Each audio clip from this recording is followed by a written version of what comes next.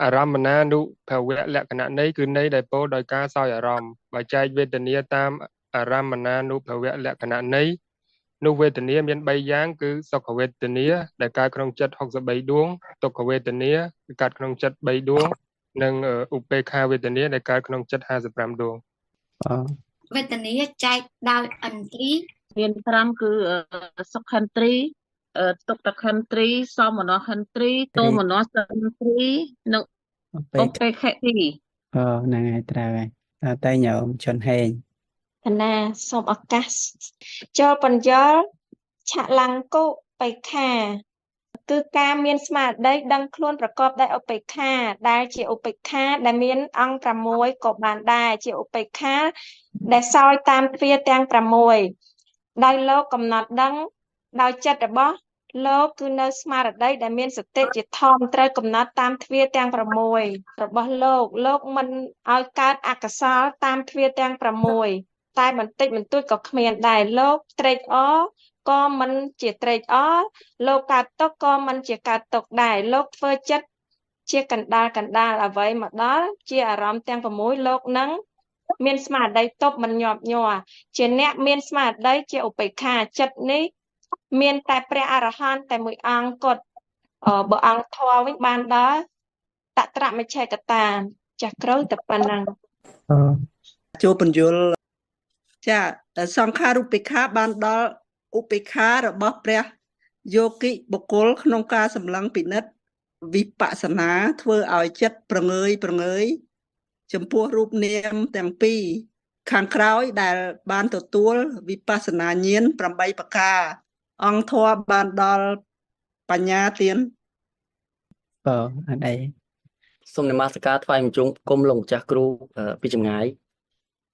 អឺសម្រាប់សំណួរទី5តើវេទនានុបេក្ខានិងវិបស្សនានុបេក្ខាខុសគ្នាដូចម្ដេចអញ្ចឹងខ្ញុំកណាសូមឆ្លើយថា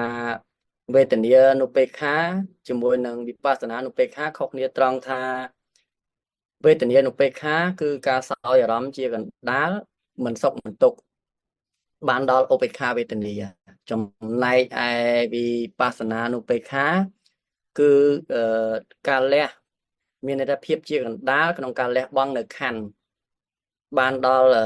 បញ្ញាចេតសិកលោកចាស់គ្រូបាទហ្នឹងហើយអញ្ចឹងអាត្មាដាក់ចម្លើយសង្ខេបមកវិញអារមណានុភវលក្ខណៈនៃគឺនៃដោយការសើយនៅអារម្មណ៍ មាន3នឹងឯងដែលរៀបរាប់មកសុខទុក្ខនិងអតុខមសុខវេទនាអាត្មាអត់បានទៅសេទេព្រោះសំណួរហ្នឹងសួរអំពីនិយមន័យហ្នឹងយើងរាប់ក៏បានដែរវេទនាចែកដោយអន្តរីមាន5សុខទុក្ខសោមនស្សទោមនស្សនិងឧបេក្ខាឬក៏សុខន្ទ្រីទុក្ខន្ទ្រីសោមនស្សសិន្ទ្រីទោមនស្សសិន្ទ្រីនិងឧបេក្ខន្ទ្រី អង្គធរទាំង5នេះគឺវេទនាចេតសិកតែមួយចលង្គុបេខាគឺជាការប្រងើយកន្តើយតាមទ្វា6របស់ព្រះខៃណាសពដែលមិនជាប់ជំពាក់ក្នុងទ្វាណាមួយសង្ខារុបេខាជាការប្រងើយចំពោះសង្ខារដោយការមិនប្រកាន់មមក្នុងសង្ខារដោយបញ្ញាអង្គធម៌បណ្ដាបញ្ញាចេតសិកវេទនុបេខាជាបេខាវេទនាអង្គធម៌ជាវេទនាចេតសិកហើយវិបស្សនុបេខាជាតួវិបស្សនាដែលឃើញនាមរូបដោយ ប្រងើយមិនប្រកាន់មមអង្គធម៌បណ្ដាបញ្ញាចេតសិកប៉ុណ្ណឹងចឹងយើងបន្តទៅនៅក្នុងទី5មិញដូចជាលំហាត់បានដាក់ហើយណាវិបស្សសង្ខារុបេខាហ្នឹងគឺជាឈ្មោះរបស់ព្រះអរិយបុគ្គលឬក៏ព្រះយោគិវចរដែលលោកបដិបត្តិពិចារណា ជាកណ្ដាលកំណត់ នៅនិវរណធម៌ដោយព្រះអង្គទ្រង់ត្រាស់ថាសង្ខារូបេខាប្រមាណតែងកើតក្នុងសមាធិសង្ខារូបេខាប្រមាណតែងកើតក្នុងវិបស្សនា បានលោកឆ្លើយថា សង្ខារូបេខា8យ៉ាងតែកើតដោយអំណាចសមាធិសង្ខារូបេខា10យ៉ាងតែកើតដោយអំណាចវិបស្សនា ហ្នឹងហើយអញ្ចឹងគឺនៅក្នុងចំណោម10ហ្នឹងគឺមាន8ដែលការដោយអំណាចសមាធិក្នុងការអប់រំចម្រើនដោយសមាធិហើយក្នុង10ទាំងអស់ហ្នឹងគឺកើតក្នុងវិបស្សនាបានពីព្រោះអារម្មណ៍របស់វិបស្សនាគឺមានសភាពទូលំទូលាយជាងអារម្មណ៍របស់សមថៈ របស់សមាធិហ្នឹងហើយអញ្ចឹងទាំង10ហ្នឹងអាចជាអារម្មណ៍របស់វិបស្សនា ដែលជាសង្ខាររូបេខា ប្រងើយកន្តើយគ្រប់សភាវៈដែលកើតឡើងទាំងអស់ឃើញសង្ខារទាំងពួង ដោយសភាពជាកណ្ដាលនឹងអង្គធម៌បានដល់បញ្ញាចេតសិកនឹងហើយវេទនុបេខា គឺ ជាឧបេខាវេទនាអង្គធម៌បានដល់វេទនាចេតសិកដែលដាក់ថាបានដល់ឧបេខាហ្នឹងដើម្បីឲ្យដឹងថាវេទនុឧបេខាហ្នឹងគឺជាឧបេខាវេទនានឹងឯងណាក្នុងមេរៀនរបស់យើងទាំងអស់ហ្នឹងគឺសំដៅយកតែចំណុចទី6មួយទេក្នុងមេរៀនវេទនាចេតសិកណាយកតែលេខ6ហ្នឹងមួយហ្នឹងហើយគឺកំណត់ដឹងថាមិនមែនសុខមិនមែនទុក្ខ ណាដោយព្រះបាលីថាកាមាវចរៈកុសលរមែងកើតឡើងក្នុងសម័យនោះនឹងឧបេខាដែលជាកាមាវចរៈកុសលកើតក្នុងសម័យណា សម័យនោះគឺជាឧបេខាវេទនាហ្នឹងហើយដែលព្រះអង្គទ្រង់ត្រាស់សម្ដែងពីក្នុងន័យខ្លះដែលព្រះអង្គសម្ដែងពី កាមាវចរៈកុសលដែលជាឧបេខាហើយទី7វិបស្សនុបេខាបានដល់ បញ្ញាដូចគ្នាហ្នឹងគឺតួវិបស្សនាហើយដែលព្រះយោគីវិចរលោកសង្កេតពិនិត្យដោយបញ្ញាឃើញសភាវៈតាមសក្តីពិតហើយក៏មានសភាពប្រងើយកន្តើយហ្នឹងហើយប្រងើយកន្តើយចំពោះនាមរូបដែលកំពុងប្រកាសហ្នឹងมันជាប់ជំពាក់ក្នុងនាមក្តីក្នុងរូបក្តីដោយតួវិបស្សនារបស់លោកឃើញសភាវៈនោះតាមសក្តីពិត ដល់ឃើញតាមសក្តីពិត ពាក្យថាឃើញតាមសក្តីពិត គឺឃើញថារូបកើតព្រោះបច្ច័យនាមកើតព្រោះបច្ចបច្ច័យហ្នឹងហើយមិនបានឃើញថានាមហ្នឹងជារបស់យើងរូបធម៌ហ្នឹងជារបស់យើងឡើយហ្នឹងហើយមើលថាឃើញធម៌តាមសក្តីពិតអញ្ចឹងឃើញតាមសក្តីពិត គឺឃើញដោយបញ្ញាហើយឃើញតាមសក្តីពិតអញ្ចឹងលោកអត់មានត្រេកអរមិនជាប់ជំពាក់មិនហួងហែង ចិត្តរបស់លោកគឺជាកណ្កណ្ដាលស្មើចំពោះនាមរូបហ្នឹងដល់ទី8តត្រមច្ឆតុបេខាជាឧបេខាជាកណ្ដាលដែលប្រព្រឹត្តទៅ ស្មោះស្មៅជានិច្ចដែលមាន ក្នុងធម៌ណានេះមួយញាតិញោមណាធម៌ណាក៏ដោយ ដែលញ៉ាំងសហជាតិធម៌ ដែលកើតជាមួយខ្លួនហ្នឹងឲ្យជាកណ្កណ្ដាលជាពិសេសតត្រមច្ឆតតាហ្នឹងគឺវាកើតនៅក្នុងសោបនៈចិត្តទាំងអស់ចឹងកើតជាមួយមហាកុសលក៏ដោយធ្វើឲ្យមហាកុសលហ្នឹងស្មោះស្មើត្រង់អត់ឲ្យធ្លាក់ទៅក្នុងអកុសលឬក៏ធ្លាក់ទៅក្នុងចិត្តដតីជាវិបាកក្តីជាកិរិយាក្តីអត់ឲ្យវាធ្លាក់ចូលទៅក្នុងចិត្តទាំងអស់ហ្នឹងហ្នឹងលោកហៅថា ស្មោះស្មើឬក៏ប្រព្រឹត្តទៅស្មើជានិច្ចណាត្រង់ហ្នឹងហើយបើបង្កើតជាមួយលោកតរៈហ្នឹងក៏បង្អោនសម្បយុទ្ធធម៌ក្នុងគណៈកើតជាមួយលោកតរៈហ្នឹងឲ្យចិត្តនិងចេតសិកទាំងអស់ហ្នឹងត្រង់ទៅកាន់ព្រះនិព្វានតែម្យ៉ាងដែលមានព្រះនិព្វានជាអារម្មណ៍អញ្ចឹងទៅណាមិនឲ្យធ្លាក់ទៅក្នុងចិត្តដតីជាលោកយៈចិត្តនឹងលោកលើកឧបមាដោយសារថី ដែលចំណេញក្នុងការវឹកហាត់សេះអញ្ចឹងនឹងយើងនឹងបញ្យល់ទៅទៀតនៅក្នុងមេរៀនតត្រមចរតាចេតសិកជានុបេខាបានដល់តត្រមចរតាចេតសិកដែរដែលសំដៅយកសេចក្តីសុខនៅក្នុងឈាន ជាសុខដ៏ប្រណិតហ្នឹងហើយគឺប្រព្រឹត្តទៅទៅដល់ជានុបេខាហ្នឹងហើយគឺជាសុខដ៏ប្រណិត ដែលប្រព្រឹត្តទៅជាកណ្ដាល នឹងគឺលោកសំដៅយត្រតមច្ឆតតាដែរមិនមែនជាឧបេខាវេទនាទេប៉ុន្តែជាសក្តីសុខដែលប្រណិតណាជាសុខដែលនឹងថឹងជាងសក្តីសុខដតីដតីអញ្ចឹងកន្លែងសេចក្តីសុខរបស់អ្នកដែលបានឈានទៅហ្នឹងគឺលោកចម្រើនដល់បញ្ញមាឈានទៅធ្វើឲ្យចិត្តរបស់លោកសុខស្ងប់នឹងថឹងតែមិនមែនជាឧបេក្ខាវេទនាដែល ក្នុងទីនេះលោកសំដៅយកសេចក្តីសុខផ្លូវចិត្ត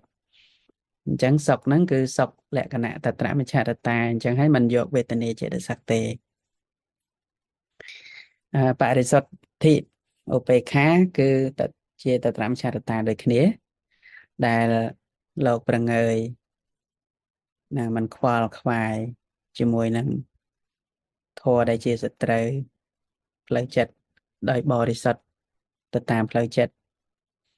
នៅក្នុងនេះគឺសំដៅយកចតតឈាន ដែលមានសតិបរិសុទ្ធព្រោះឧបេខា នៅក្នុងចតតឈានហ្នឹងគឺជាឧបេខាដ៏បរិសុទ្ធណាកន្លែងហ្នឹងក៏ជាតត្រមច្ឆរតាដែរ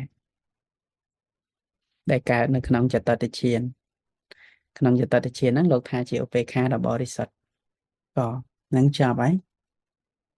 អញ្ចឹងសរុបមកវិញនៅក្នុងបណ្ដាឧបេខាទាំងអស់ហ្នឹង អឺឆាឡាងគុបេខា ព្រមវិហេរុបេខាណាពោជាងគុបេខាតត្រមច្ឆតុបេខាជានុបេខាបរិសុទ្ធិបេខាបរិសុទ្ធិឧបេខាសរុបទៅទាំង6ហ្នឹងក្នុង6ហ្នឹងគឺអង្គធម៌ស្មើនឹងតត្រមច្ឆតតាទាំងអស់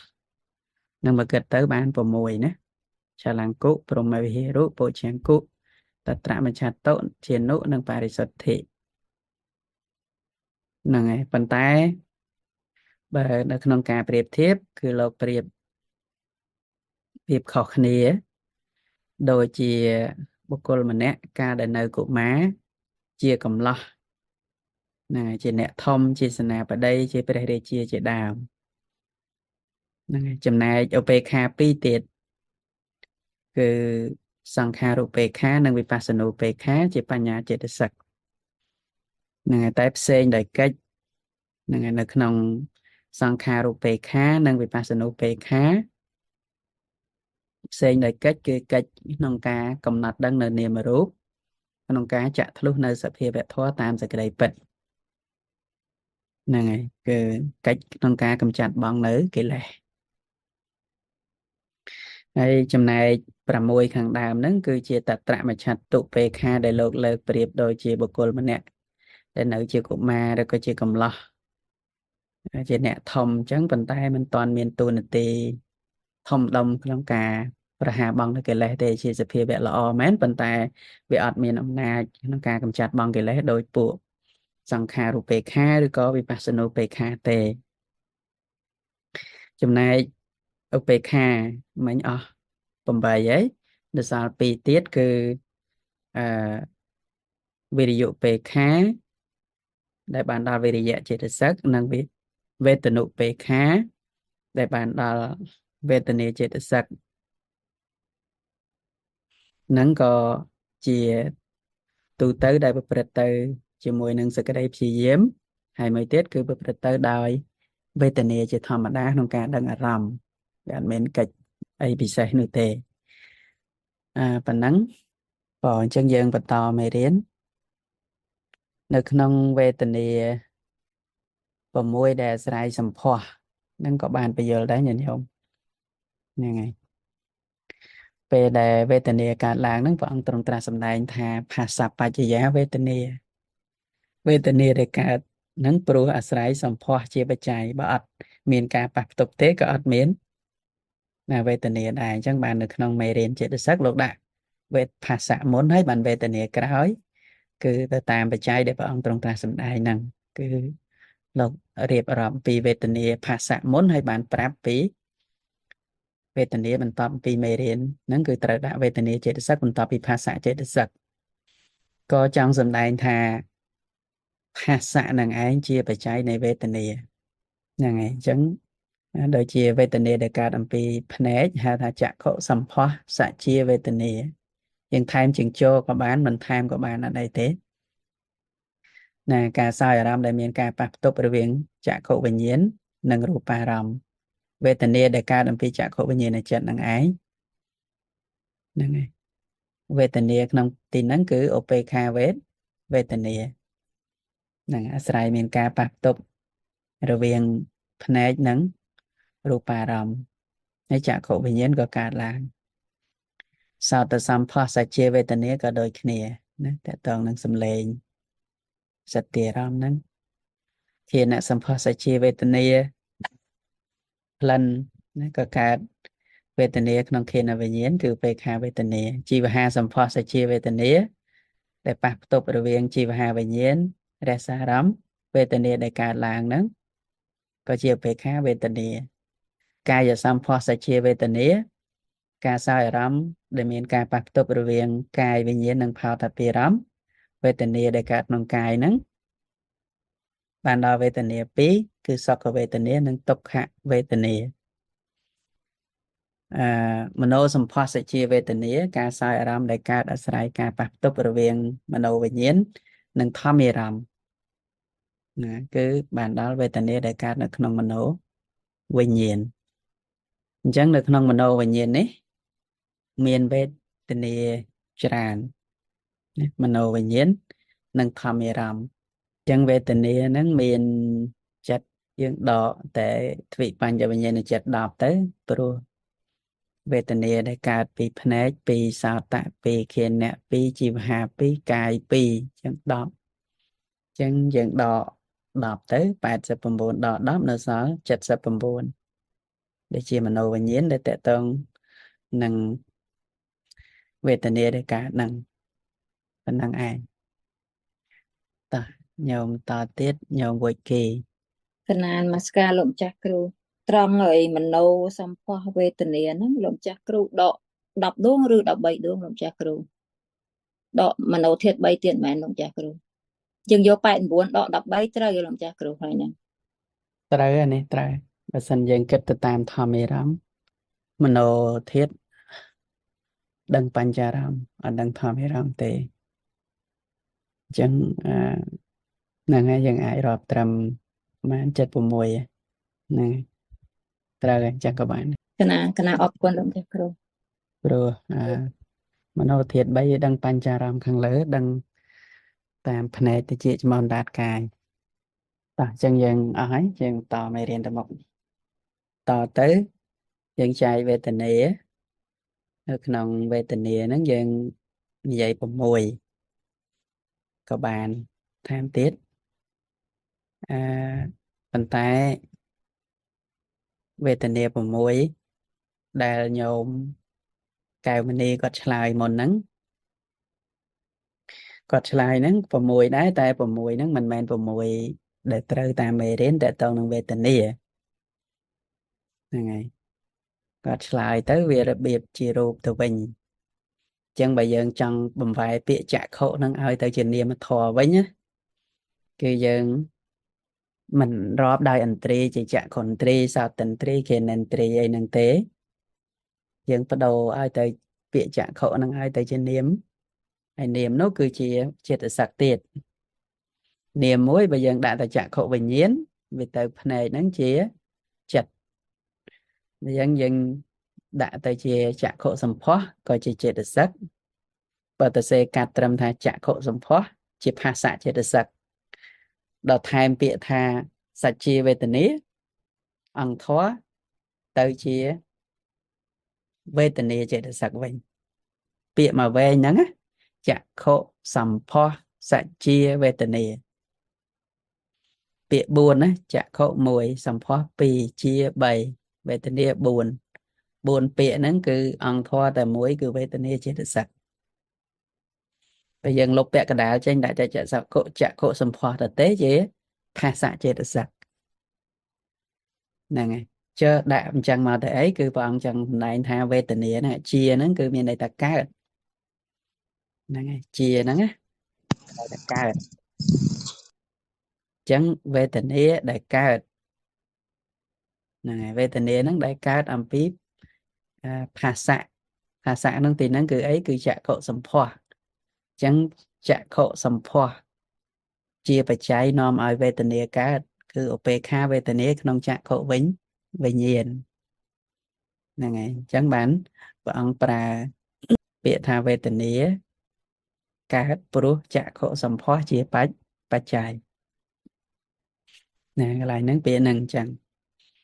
ណាសោតសម្ផស្សសច្ជាវេទនា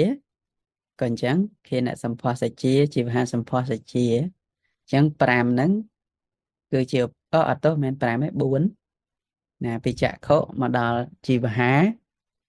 ជាបេខាវេទនាទាំងអស់ចំណែកកាយសម្ផស្សប្រកបជាមួយនឹងសុខវេទនា និងទុក្ខវេទនាអញ្ចឹងបានវេទនា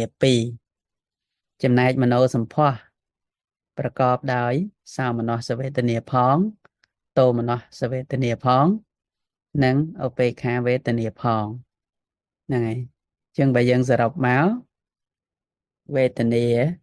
នៅក្នុងសោមនស្សវេទនាដែលយើងបានរៀនហើយសោមនស្សវេទនានៅក្នុងមโนសម្ផស្សជាវេទនានេះមានសោមនស្សវេទនាប្រមាណដួងណាញញោវេទនាប្រមាណដួងក្នុងសោមនស្សជាវេទនានេះដែលជាមโน 62ចាគ្រូ62ត្រូវហើយញញោម62ត្រូវហើយណាមានអ្នកឆ្លើយទេណាមាន62តោមនោះមាន2ឧបេក្ខា មាន55ដដែលហ្នឹងឯងយើងបាននិយាយគ្នារួចហើយតោះប៉ុណ្ណឹងអញ្ចឹងយើងសរុបបំបាយទៅ បានវេទនាខុសគ្នា4បាន1 1បាន2 1បាន3វេទនាដោយបុគ្គលាទិដ្ឋាន ពាក្យថាបុគ្គលាទិដ្ឋាន មកពីបុគ្គលៈនិងអតិដ្ឋានប៉ុន្តែអតិដ្ឋានកន្លែងនេះមិនមែនប្រែថាតាំងចិត្តអីទេហ្នឹងហើយព្រោះតដ្ឋានហ្នឹងបើយើងប្រែតដ្ឋានហ្នឹងប្រែទៅតាំងចិត្តតែយើងប្រែកន្លែងនេះគឺយើងពោលដោយបកលាតដ្ឋានមានន័យថាចង់និយាយអំពីបុគ្គលវេទនាចែកដោយបុគ្គលហ្នឹងហើយអញ្ចឹងនៅក្នុងបច្ចយាការវិភាំងណាហ្នឹងហើយបច្ចយាការវិភាំងហ្នឹងគឺលោកពយល់អំពីវេទនាហ្នឹង អញ្ចឹងនៅក្នុងអាការពោលដោយបុគ្គលាតដ្ឋានឬក៏ការចែកដោយបុគ្គលចង់និយាយពីបុគ្គលដោយការប្រៀបធៀបអំពីសត្វនិងបុគ្គលអ្នកសោយអារម្មណ៍ហ្នឹងហើយហ្នឹងពោលដោយបុគ្គលតែយើងអាចពួរនៅក្នុងធម្មទេសនារបស់ព្រះសម្មាសម្ពុទ្ធព្រះអង្គសម្ដែងដោយបុគ្គលាទិដ្ឋានក៏មាន ដោយធម្មាទិដ្ឋានក៏មាន ហ្នឹងហើយបុគ្គលាទិដ្ឋាន គឺនិយាយអំពីបុគ្គលអ្នកទទួលបន់អ្នកទទួលបាបអីចឹងទៅដូចព្រះអង្គសម្ដែងថាធ្វើបន់នាំឲ្យមានសេចក្តីសុខញ៉ាំងបុគ្គលនឹងឲ្យទៅកើតឋានសួគ៌សុគតិអីចឹងទៅធ្វើបាបនាំឲ្យបុគ្គលហ្នឹងទៅកើតក្នុងអបាយភូមិមានប្រែតនរកទេរិឆានអសុរកាយការសម្ដែងនេះគឺព្រះអង្គសម្ដែងដោយបុគ្គលាទដ្ឋាននិយាយពីសត្វបុគ្គលអ្នកធ្វើបាបធ្វើបុណ្យទៅកើតទីនេះទៅកើតទីនោះ មានសត្វមានបុគ្គលអ្នកទៅកើតហ្នឹងហើយព្រោះព្រះអង្គសម្ដែងដោយវោហាស័ព្ទដែលជនក្នុងលោកនឹងគេប្រើណាដូចជាវេទនាអញ្ចឹងយើងក៏តែនិយាយមិនអីអ្នកបងសុខទុក្ខយ៉ាងណាហើយ យើងសួរថាតើអ្នកបងសុខទុក្ខយ៉ាងណាហ្នឹងគឺជាការសួរទៅលើបុគ្គលអ្នកសុខអ្នកទុក្ខហើយយើងក៏ឆ្លើយថាខ្ញុំសពថ្ងៃនេះដូចជាមិនសូវអីទេសុខភាពរបស់ខ្ញុំ ណាមិនសូវឈឺដូចមុនទេពីមុនឈឺឈឺឥឡូវហ្នឹងធ្វើតាមគ្រូពេទ្យទៅពេទ្យឲ្យហាត់ប្រានពេទ្យឲ្យតមហាទៅសុខភាពខ្ញុំ ដូចជាលែងឈឺខុសពីមុន ដូចជាស្រួលខ្លួនជាងមុនបន្ទាប់ពីបានស្ដាប់ការណែនាំនិងអនុវត្តតាមលោកគ្រូពេទ្យយើងនិយាយថាខ្ញុំសុខជាងមុនហ្នឹងហើយអញ្ចឹងនិយាយថាខ្ញុំអ្នកសុខអាហ្នឹងនិយាយពីខ្ញុំអ្នកសុខហ្នឹងដោយ បុគ្គលាតដ្ឋានហើយដោយបុគ្គលហើយបុគ្គលអ្នកសុខបុគ្គលអ្នកទុក្ខហើយហើយឬក៏ភិក្ខុអង្គនេះអង្គនោះឈឺអាពាតអីចឹងទៅព្រះអង្គទ្រង់ត្រាស់សម្ដែងថាដោយភិក្ខុអាពាតអីចឹងព្រះអង្គថាបុគ្គលណាដែលបាន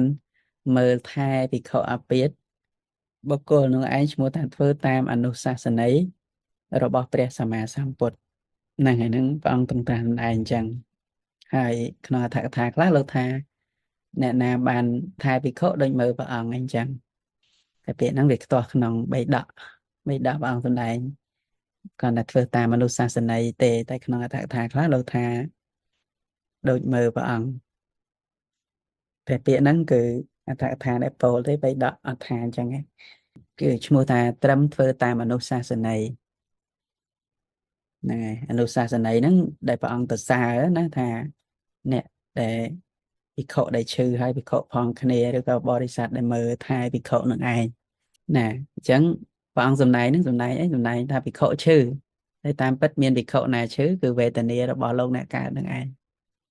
តែបើថាព្រះអង្គសំដែងថានៃវេទនារបស់ភិក្ខុនឹងកំពុងកើតទុក្ខវេទនាសត្វលោកស្ដាប់អត់បាននឹងអត់យល់នៅក្នុងពាក្យទាំងអស់ហ្នឹងតែអ្នកដែលរៀនយល់ស្ដាប់សភាវៈគឺអាចនឹងយល់ ប៉ុន្តែតាមវោហាស័ព្ទរបស់មនុស្សគឺតែងតែនិយាយអញ្ចឹងឯងអញ្ចឹងក៏ព្រះអង្គសម្ដែងថាភិក្ខុអង្គនេះឈឺហ្នឹងហើយទៅត្រូវដូចគិរីមនន្តសោតអីចឹងទៅភិក្ខុអាពាតនឹងព្រះអង្គឲ្យព្រះអនន្តទៅសម្ដែងអីអញ្ចឹងគឺបញ្ជាក់ទៅលើបុគ្គលអ្នកឈឺហ្នឹងជាបុគ្គលាតដ្ឋានហើយហ្នឹងហើយជាបុគ្គលាតដ្ឋាន គឺសំដែងពីបុគ្គលអ្នកឈឺអ្នកនេះឈឺវិខុអពាត គឺប្រើតាមបោហាស័ព្ទណាអញ្ចឹងក្នុងបច្ចយាការវិភាំងហ្នឹងនៅក្នុងកម្ពីវិភាំងហ្នឹងគឺលោកពោលថាការសោយអារម្មណ៍រមែងមាន2យ៉ាងលោកអត់ពោលដល់3ទេលោកពោលត្រឹមតែ2គឺសុខហើយហ្នឹងຕົកប៉ុណ្ណោះដោយនិយាយហ្នឹងគឺនិយាយជាបុគ្គលាទិដ្ឋាន ពីព្រោះវោហាស័ព្ទរបស់មនុស្សដែលប្រើរាល់ថ្ងៃ គឺនិយាយតែពីរហ្នឹងសុខហើយនឹងទុក្ខសុខហើយនឹងទុក្ខ អញ្ចឹងលោកលោកពោលថាមូលហេតុដែលលោកពោលថាវេទនាមានតែពីរគឺសុខហើយនឹងទុក្ខគឺលោកចង់បញ្ជាក់ទៅលើបុគ្គលាទិដ្ឋាន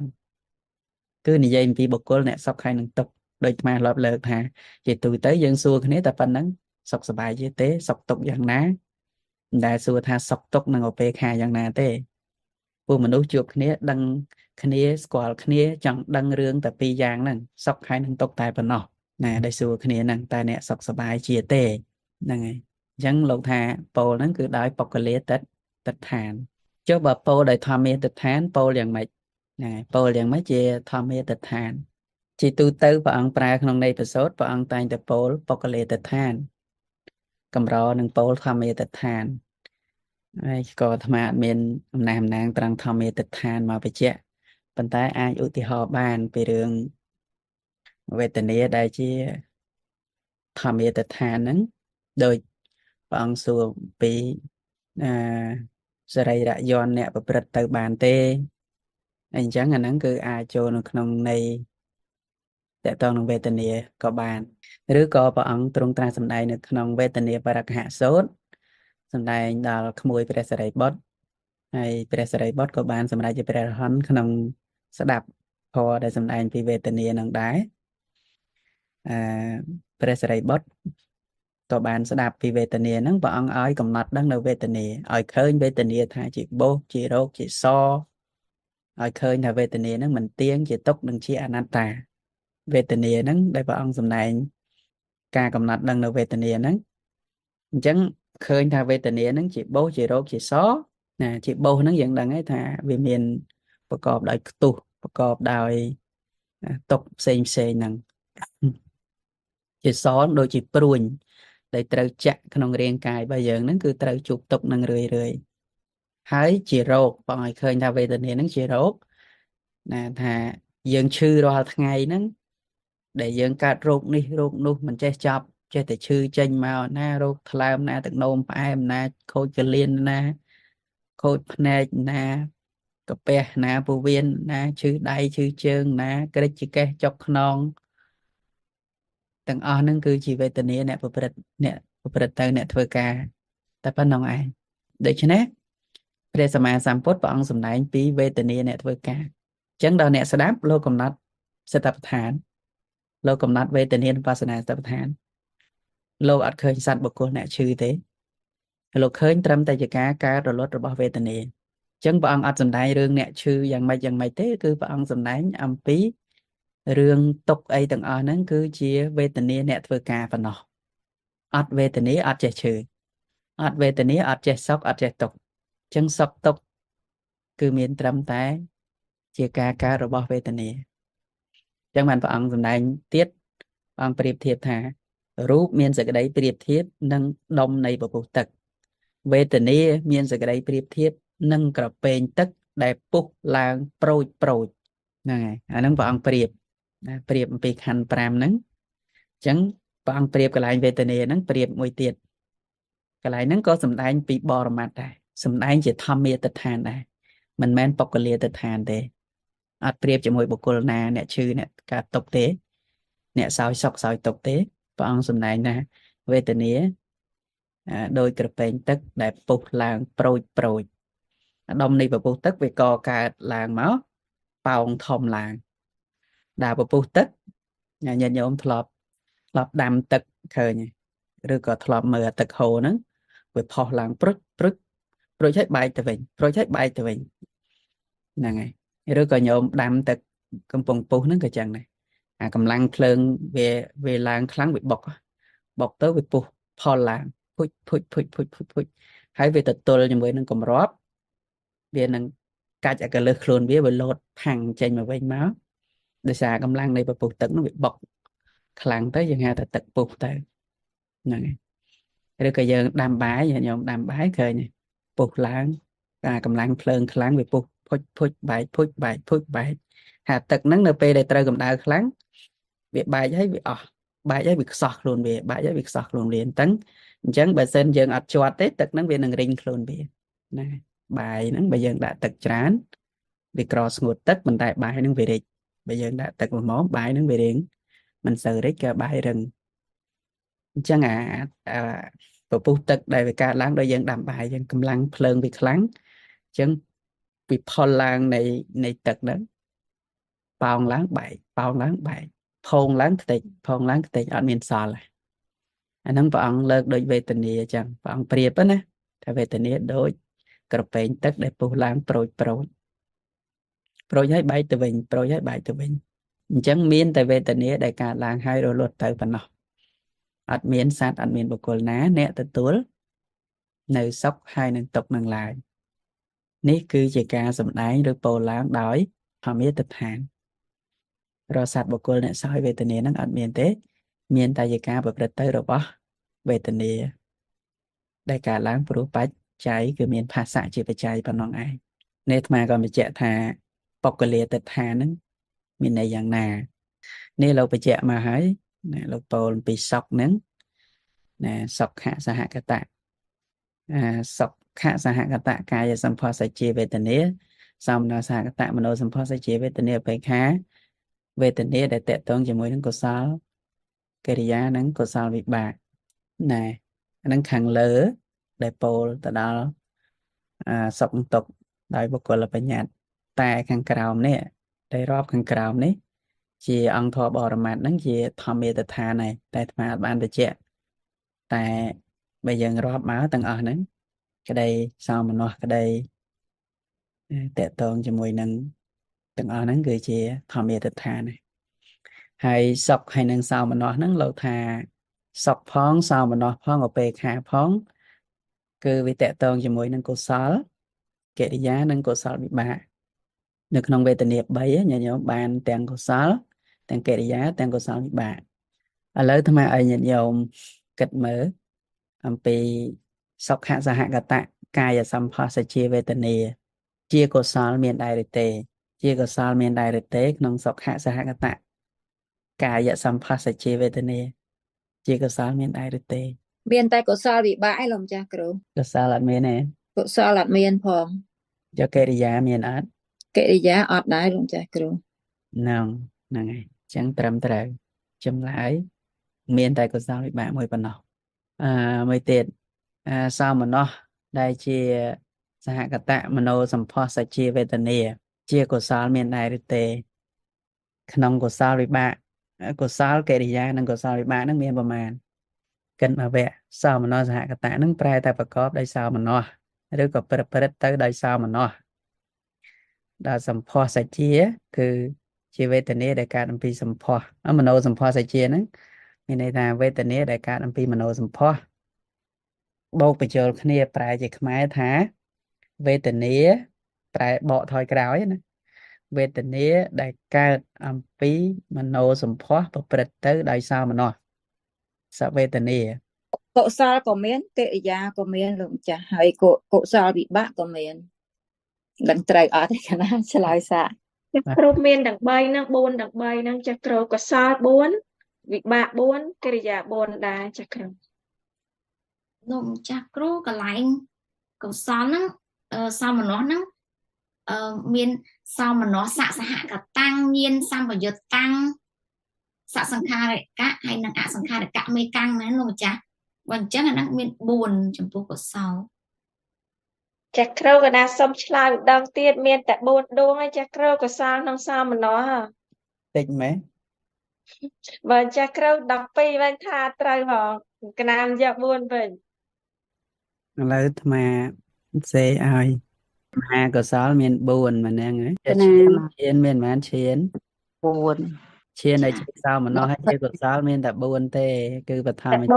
អត្តឈានកណា 4ទៀតហើយលោកកតរៈបើចឹងបើយើងចង់រកវេទនាហើយជាកុសលណាកុសលគឺរាប់តែក្នុងមគ្គចិត្តទេ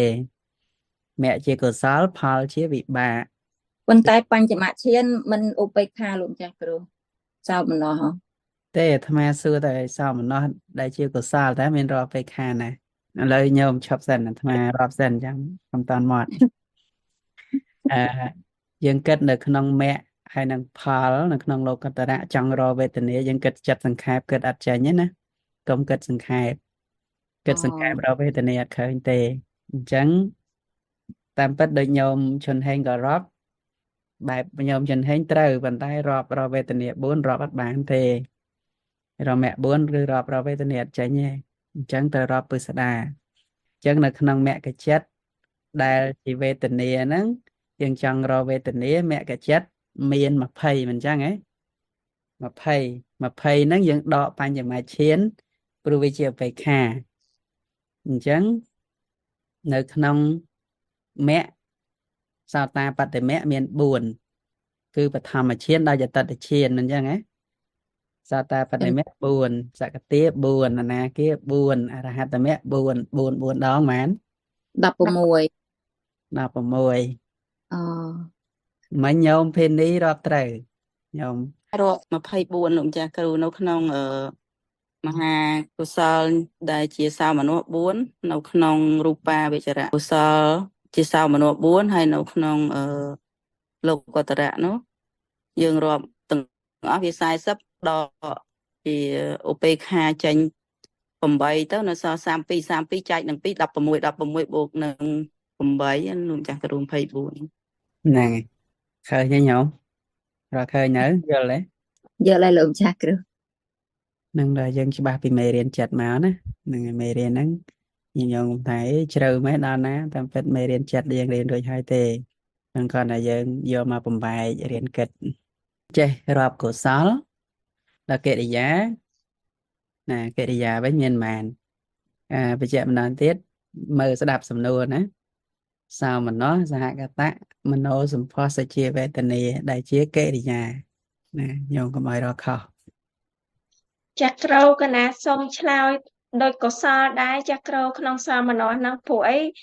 យក4ដូចគ្នាព្រោះអីតាកុសលនិងកិរិយាអញ្ចឹងកណាយក20ដូចគ្នាដោយកុសលមិនដែរចាស់គ្រូសាលមិញ24មាន20ណា24ណា កណាយក24ហ្នឹងហ្មងចាស់កណាឃើញ20ព្រះអង្គ20កិរិយាកណាថា20ដែរលោកម្ចាស់គ្រូចម្លើយអត់តាន់មានអ្នកត្រូវម្នាក់ឯង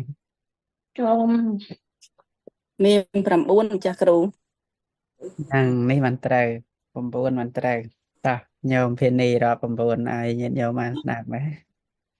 គណៈលោកម្ចាស់គ្រូនៅកិរិយានៅក្នុង អហេតុកៈម្ដួង ដែលជាសោមន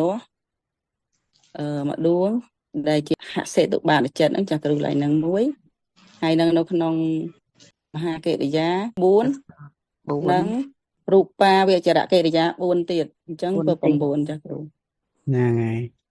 លោកម្ចាស់កណាសូមឱកាសព្រោះអីលោកម្ចាស់មុនហ្នឹងសួរតែកុសលដែរក្នុងកិរិយាបើសិនក្នុងកិរិយាសួរជាកុសលនៅក្នុងអហេតុកៈអត់មានទេទេកិរិយាផ្សេងកុសលផ្សេងកុសលលែងសួរតែសួរកិរិយាម្ដងតែ អូកណាបាទលោកម្ចាស់សួរក្នុងកុសលដែរតែពេលចឹងត្រូវហើយអត់ត្រូវលោកចាស់ញោមចាំថាកិរិយាមាន20ដល់ពេលរាប់រាប់20យកសំណួរសួរសោមនស្សតាហ្នឹងហើយអញ្ចឹងប្រហែលជាអត់តន់យល់សំណួរមិញហ្នឹងអញ្ចឹងហសិតបាតគឺជាសោមនស្សមហាកិរិយាក៏សោមនស្ស4ហើយនៅឈានចិត្តក៏សោមនស្សហ្នឹងហើយសោមនស្សជាកិរិយាក៏4ដែរសោមនស្សដែលជា កុសលវិបាកមានបានគុណចាស់កូណាថា25ណាអ្នកផ្សេងទៀតកណាថាអើយមានមួយលោកចាស់ត្រូវសួរសាថ្មីមិញកណាដាក់អត់បានហងសោមនស្សដដែលអឺសោមនស្សសហកតៈមនោសម្ផស្សជា ដែលជាកុសលវិបាកមាន25ត្រូវលោកចាស់ មាន18ត្រូវទេលោកគុណចាស់23លោកចាស់កណាសុំឆ្លើយថា25ចាស់គ្រូអាត្មាបោកដូចឃើញ26អឺកណារាប់ឃើញ25ទៀតដល់ហើយត្រូវហើយ25ត្រូវអាត្មាមិនរាប់លើសគេតោះឥឡូវអឺរាប់អស់គ្នាតើញោមមិនឡារាប់មកចឹងក្នុងអហេតុកៈកុសលវិបាកនៅក្នុងសមនស្សសន្តិមួយហើយនឹងអឺក្នុង មហាវិបាកក្នុងអឺកុសលវិបាកហ្នឹងវាមាន4ដួងហើយនៅក្នុងអឺលោកបត្រវិបាកហ្នឹងមាន16ដួងអញ្ចឹងទៅអស់25កណាអត់យល់ថាកុសលវិបាកនេះសំដៅយកចិត្តអីខ្លាំងលោកចាស់គ្រូកណាគិតយកតែអហេតុកៈកុសលវិបាកអញ្ចឹងកុសលវិបាកហ្នឹងរាប់យកដល់លោកបត្រវិបាកទៀតមែនលោកចាស់គ្រូកណាអត់យល់អាកន្លែងហ្នឹងលោកចាស់គ្រូអឺបញ្ជាក់មកវិញពាក្យថាកុសលវិបាកមានន័យថា ជាផលរបស់កុសលហ្នឹងហើយជាផលរបស់កុសលអញ្ចឹងនៅក្នុងសោមនស្សនេះលោកយកកុសលវិបាកមានន័យផលរបស់កុសលទាំងអស់អញ្ចឹងញោមញោមយល់ទេញោមពួកគេកុសលវិបាកហ្នឹងតែផលរបស់ផលរបស់បុណ្យផលរបស់កុសលផលរបស់កុសលមានអឺផលរបស់មហាកុសលវាបានអឺអហេតុកៈកុសលវិបាក8អមហាវិបាក8 8មហកតៈ មហកតៈ9វិបាក9លោកតរៈវិបាក20ចឹងបាទលោកចាស់គិតហ្នឹងកណាកណាមិញកណាអត់យល់ផងកណាគិតតាហេតុកៈកុសលវិបាក8កណាអរគុណលោកចាស់គ្រូណា8ហ្នឹងយកតែសោមនស្សហើយជាមโนសម្ផស្សទៀតណាអត់រាប់ចក្ខុវិញ្ញាណសោតវិញ្ញាណវាជាបេខាអញ្ចឹងក្នុង8ហ្នឹងមានតែមួយទេដែលជាសោមនស្សសុខកាយវិញ្ញាណក៏អត់យកទៀតណាមិនដែរញាតិញោមផ្សេងទៀតយល់អត់ហ្នឹងហើយក៏ជ្រៅគិតអត់ចេញតោះនេះគឺលោកគិតតកតងជាមួយនឹងសុខហ្នឹងហើយឧបេក្ខាក៏តកតងជាមួយនឹងអាកុសលនិងកិរិយាក៏មានដែរប៉ុន្តែយើងមិនរាប់ទេ យើងរាប់ត្រឹមសុខដែលជាសុខកាយនិងសុខចិត្តតែប៉ុណ្ណឹងបានណា លោកបដោតទៅលើពីរទេណាហ្នឹងហើយប៉ុន្តែលោកបញ្ជាក់ថាឧបេក្ខាក៏មាន ក្នុងកុសលកិរិយានិងកុសលវិបាកដូចគ្នាប៉ុន្តែនៅក្នុងបុគ្គលាទិដ្ឋានលោកចែកត្រឹមតែពីរគឺសុខហើយនិងទុក្ខហ្នឹងឥឡូវយើងគិតណាទុក្ខសហកតៈកាយសម្ផស្សសជាវេទនាអានេះជាអកុសលអត់មាន ជាអកុសលវិបាកមានជាកុសលវិបាកអត់ តែបើឧបេក្ខាតកតងជាមួយអកុសលមានកុសលវិបាកមានអញ្ចឹងកុសលវិបាកអត់មានតោមនស្សដែលជាមโนសម្ផស្សសជាវេទនាដែលតកតងជាមួយនឹងអកុសលមានតែកុសលវិបាកអត់តែបើឧបេក្ខាមាន ទាំងអកុសលនិងកុកុសលយ៉ាងនេះមិនអាចរាប់ទេញោមប៉ុណ្ណឹងបានបើអាហ្នឹងរំលឹកខ្លះខ្លះប៉ុណ្ណឹងចាស់ហ្នឹងគឺចែកសុខនិងទុក្ខ ប៉ុណ្ណឹងដែលព្រះអង្គទ្រង់ត្រាស់ពីរយ៉ាងដោយសុខហើយនិងទុក្ខជាបុគ្គលាទិដ្ឋាន សំណួរបន្តទៀតតើពិចារណាវេទនាដូចម្ដេចសំណួរហ្នឹងក៏មានចម្លើយដែរពិចារណាចំពោះវេទនាហ្នឹងឲ្យឃើញដូចអាត្មាបានរាប់ហើយបានបញ្យល់ខាងដើមមិញដែរយើងសិក្សាអំពីវេទនាចេះអីហើយប្រតិបត្តិក្នុងវេទនានឹងយ៉ាងដូចម្ដេច ដូច្នេះគឺអាត្មាលើក នៅក្នុងពាក្យរបស់អានៅក្នុងអាវេទនាបរកហសូត្រហើយនឹងសំណួរបប្រតិបត្តិនៅក្នុងវេទនានុបស្សនាសតិប្បដ្ឋានវាជាក់តងគ្នាអញ្ចឹងពិចារណាឲ្យឃើញវេទនានឹងថា ជាទុក្ខឃើញទុក្ខវេទនាថាដូចជាកូនសឃើញសុខវេទនាថាជាទុក្ខ ឃើញទុក្ខវេទនាថាដូចជាកូនសឃើញអទុក្ខមវេទនាថាជារបស់មិនទៀងនេះបើទៅសេអស់អទុក្ខមសុខវេទនាណាញោមសេពាក្យកាត់ខ្វះពាក្យគឺស្មើនឹងអពេខាវេទនានេះបើដាក់អពេខាវេទនាអតុខមសុខវេទនាដាក់អពេខាវេទនាស្រួលស្ដាប់ជាងហេតុអីបានជាលោកឲ្យពិចារណាឃើញសុខវេទនាថាជាទុក្ខ ណាញាតិញោមហេតុអីបានសុខវេទនាហ្នឹងឲ្យឃើញថាជាទុក្ខទៅវិញព្រោះវាអត់ទៀងវាអត់តាំងនៅវាកើតហើយរលត់ទៅវិញឃើញជាទុក្ខអញ្ចឹងទេបើសុខហ្នឹងវាអត់បានតាំងនៅវាមានការប្រែប្រួលលោះហើយទៅជាទុកវិញដែរហ្នឹងទេទាំងគ្រូសុកហ្នឹងវាគ្រាន់តែជាសុកសន្មត់ណាវាមិនមែនជាបាទអញ្ចឹងកន្លែងសុកនេះ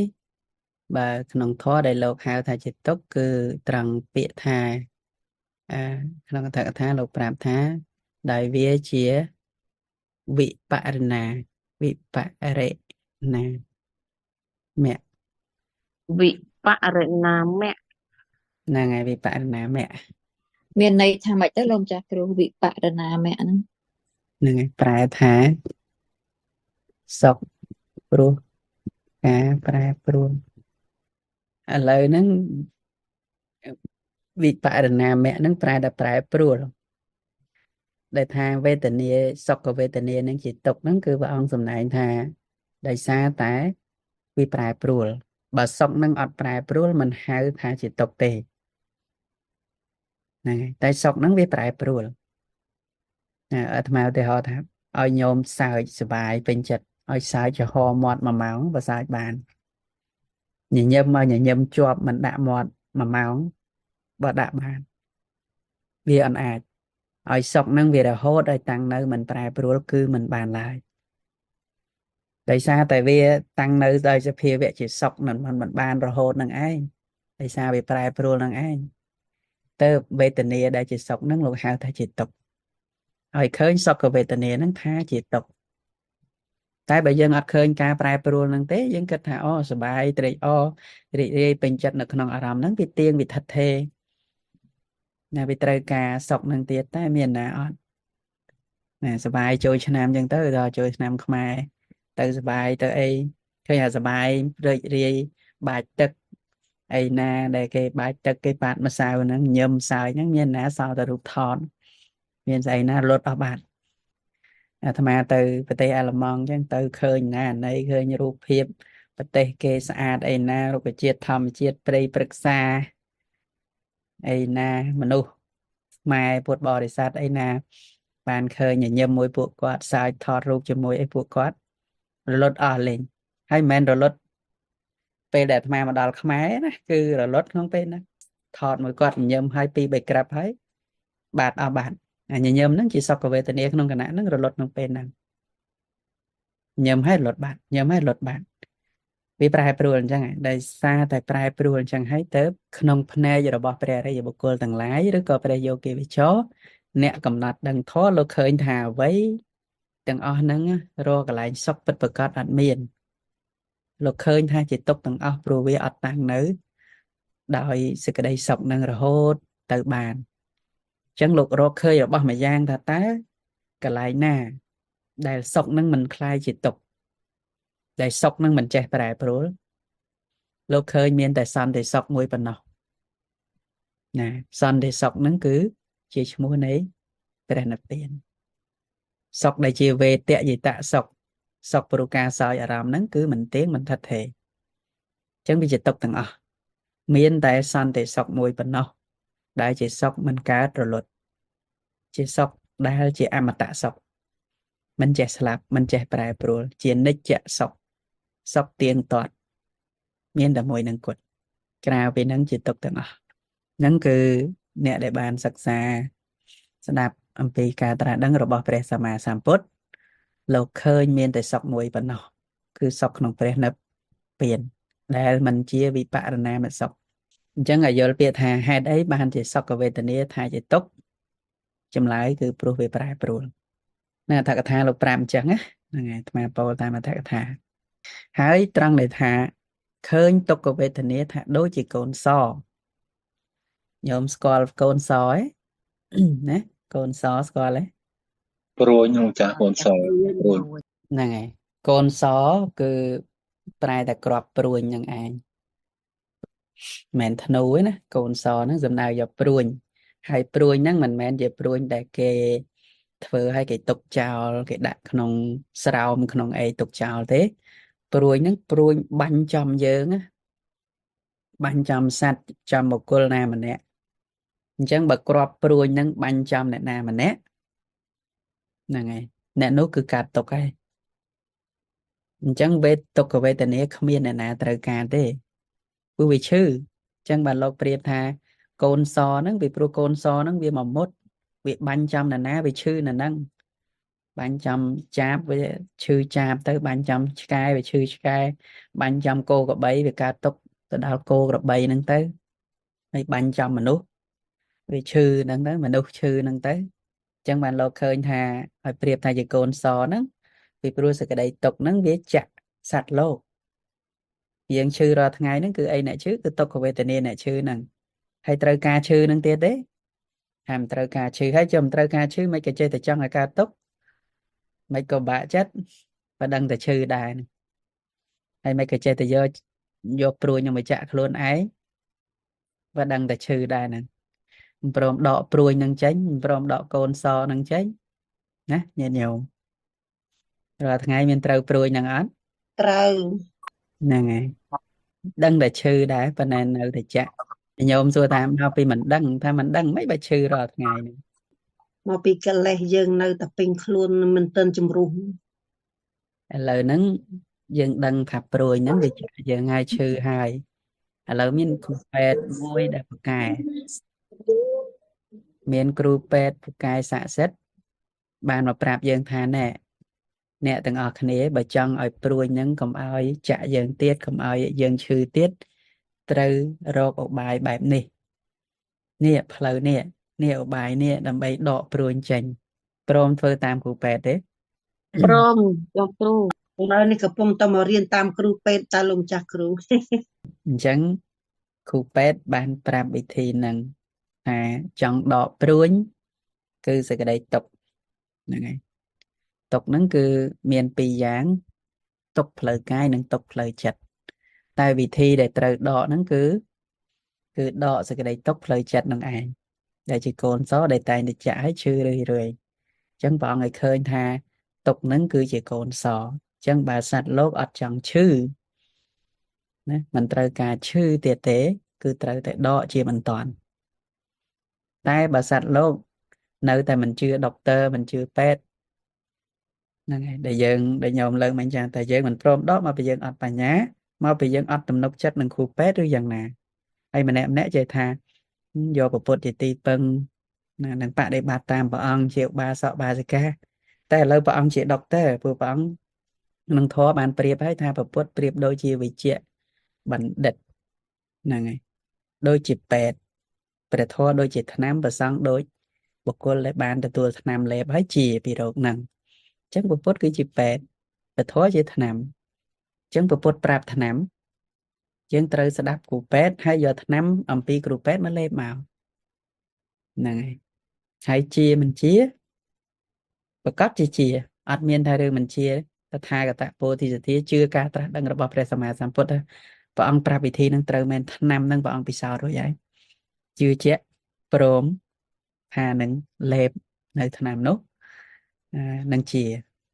ហ្នឹងហើយលោកម្ចាស់កាលាសូមឱកាសឡើងនឹងតិចបើលោកម្ចាស់បញ្យល់ដូចថាលើកពីគ្រូពេទ្យហ្នឹងឧទាហរណ៍ទូទៅហ្មងលោកម្ចាស់ដូចថាអ្នកខ្លះទៅជួបពេទ្យអញ្ចឹងពេទ្យថាអង្គលើកខ្លាញ់ហើយអញ្ចឹងត្រូវប្រយ័ត្នកុំឲ្យញ៉ាំអាហារជាច្រើនហើយត្រូវហាត់ប្រាណប៉ុន្តែមនុស្សមួយចំនួនគឺនៅតែអត់ធ្វើតាមអញ្ចឹងហើយបើសិនជាអ្នកស្រឡាញ់សុខភាពគេនឹងធ្វើតាមថាអង្គបើសិនជាបន្តអញ្ចឹងទៀតវាអាចនឹងមានបញ្ហានៅថ្ងៃក្រោយ ដោយសារការញ៉ាំអត់តមកហាត់ប្រាណអញ្ចឹងណាលោកចាតែអ្នកខ្លះដឹងហើយតែអត់ធ្វើតាមណាសូមអរគុណទៀតហ្នឹងហើយតែសប្តាហ៍ថ្ងៃនេះមានអ្នកធ្វើតាមក៏ច្រើន តែអ្នកមិនជឿវាចេះតែប្រមាថអឺដោយកិលេសនៅញោមលើកមិនអញ្ចឹងតែអ្នកដែលគេតាមគេប្រឹងណាអ្នកខ្លះហាត់ប្រាណគេរត់មួយថ្ងៃមួយថ្ងៃគេថាលើសជាតិខ្លាញ់ត្រូវតមនេះត្រូវហាត់ប្រាណរត់ប្រឹងរត់ប្រឹងអីចឹងទៅព្រោះគាត់ភ័យ ភ័យខ្លាចអញងាប់ភ័យខ្លាចអញជ្រឺជ្រឺអត់ស្រួលណែទោះបីមិនចង់ក៏ត្រូវតែធ្វើទោះបីហត់នឿយយ៉ាងម៉េចក៏ប្រឹងរត់ដែរដើម្បីកំចាត់ជំងឺហ្នឹងហើយជឿគ្រូពេទ្យថាអញ្ចឹងហើយបានអនុវត្តទៅឃើញមានប្រសិទ្ធភាពមែនអញ្ចឹងណាពេលកិលេសនេះវាមិនងាយទោះបីដឹងក៏ដោយជឿក៏ដោយប៉ុន្តែមានសភាពខ្ជិលខ្ជិលហាត់ប្រានខ្ជិលញ៉ាំតមខ្ជិលអីវាឆ្ងាញ់អញ្ចឹងទៅ ហ្នឹងព្រោះគេកិលេសព្រោះអវិជ្ជាมันងាយมันងាយទោះបីដឹងក៏ដោយហើយជឿអ្នកខ្លះជឿជឿតែព្រះអង្គចំណែងត្រូវ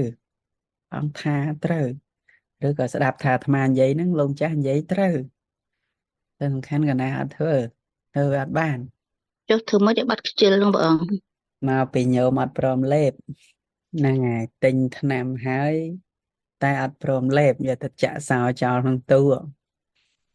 ឈឺឯងអង្គុយមើលតែថ្នាំហ្នឹងអត់ព្រមលេបទេដល់ត្រូវខ្លះហ្នឹងហើយអាត្មាឯងពីតូចចឹងដែរហ្នឹងគឺម៉ែឲ្យលេបថ្នាំអត់ព្រមលេបដល់ត្រូវពី3កភ្លៀងអីចឹងបានលេបទៅលេបផងក្អួតផងអីផងចឹងទៅវាវាចាញ់ថ្នាំឃើញថ្នាំនឹងវាលវិញអើយលវិញរឿងការបដិបត្តិហ្នឹងដូចដូច យើងវាមានអាកិលេសមួយហ្នឹងបដិបត្តិថាបាក់អើយបាក់ទូមានចិត្តប្រតិបត្តិហ្នឹងវាបាក់ចេះបាក់ចុះណាឆ្នាំហ្នឹងវាលវិញដូចអាត្មានៅពីក្មេងខ្លាចឆ្នាំអញ្ចឹងដល់ពេលធំឡើងឥឡូវហ្នឹងក៏នៅតែខ្លាចដែរឃើញឆ្នាំក៏ខ្លាចដែរញាតិញោមប្រកេនឆ្នាំហ្នឹងឃើញតែឆ្នាំហ្នឹងធុញតែហ្មងតែតែពេលខ្លះវាជាអត់រួចត្រូវតែលេប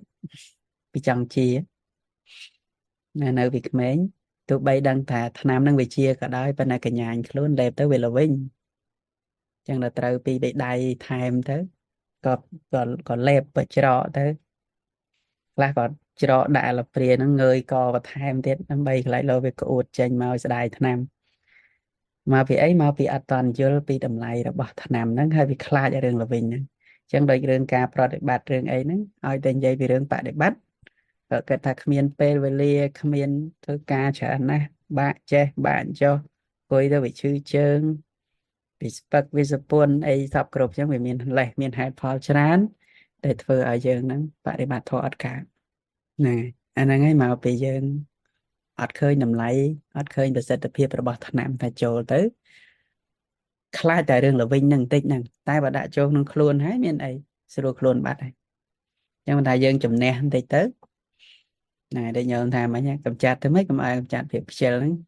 ហ្នឹងអញ្ចឹងយើងជំនះភាពខ្ជិលហ្នឹងដោយសេចក្តីព្យាយាមវិរិយេណតុកមច្ចេតិបងសំណែងឆ្លងសេចក្តីទុកបានព្រោះការព្យាយាមចឹងតើព្យាយាមទៅថ្វាយគុំព្រះអង្គកណាសូមឱកាសបន្តិចកន្លែងហ្នឹងហើយនៅក្នុងមជ្ឈមណ្ឌលវិបស្សនា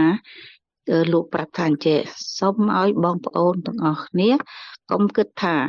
យកថ្នាំមកហើយយកទៅដាក់លើហឹងហើយអង្គុយទិញថាមកគ្រាប់ពេលព្រឹកមកគ្រាប់ពេលល្ងាចមកគ្រាប់ពេលព្រឹកមកគ្រាប់ពេលល្ងាចបើអង្គុយតែទិញអញ្ចឹងវាមិនជាទេទៅតែយកថ្នាំមកលេបបានជាថ្វាយគុំលាកូនចាស់ហ្នឹងហើយត្រូវហើយគេតោះឥឡូវយើងទាំងអស់គ្នាយើងប្រឹងលេបអញ្ចឹងទៅណាគង់តែនឹងជាទេឲ្យតែញាតិញោមព្យាយាមលេបហើយថ្នាំព្រះអង្គឲ្យនេះហ្វ្រីទៀតហើយអត់មានគិតលុយទេ ថ្នាំញោមទៅទិញណាលោកចាស់ព្រីមែនតាត្រូវហើយកន្លែងនេះលោកចាស់គ្រូកណាឆ្ងល់កន្លែងហ្នឹងថាលោកចាស់គ្រូថាព្រះធម៌ជាថ្នាំឲ្យព្រះសង្ឃជាអ្នកលេបចុះបើមិនមែនជាព្រះសង្ឃអ្នកលេបកុហកយើងដូចប្រសក់យើងអញ្ចឹងអត់បានទេលោកចាស់គ្រូកន្លែងហ្នឹងព្រោះអីថ្នាំហ្នឹងព្រះអង្គមិនได้ឲ្យតែព្រះសង្ឃណាឲ្យលេបមនុស្សទូទៅលេបបានតែលោកចាស់គ្រូអឺហ្នឹងលោកប្រៀបឧបមាត្រៃគុណ គុណរបស់ព្រះរតនត្រ័យមាន22ឧបមាហ្នឹងអញ្ចឹងលោកឧបមាតែគុណបរតនត្រ័យទេដូច្នេះយកតែពុទ្ធពធប្រសង្ឃមកឧបមាអញ្ចឹងណាអញ្ចឹងកណាដែលគុណចាស់អរគុណអញ្ចឹងបន្តទៀតអឺឃើញអតុកមសកវេទនាគឺអបេខាវេទនាហ្នឹងគេជារបស់មិនទៀងរឿងអបេខាវេទនានេះ គឺលោកឲ្យឃើញថាវាមិនទៀង